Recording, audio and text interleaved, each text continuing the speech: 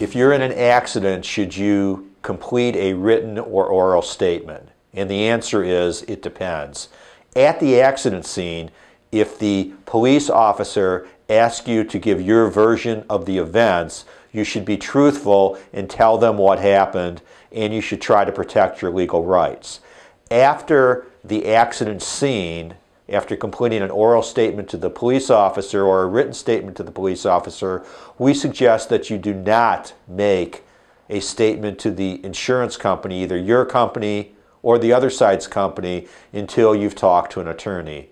And what's the reason for that? Well, your job is to try to protect your legal rights.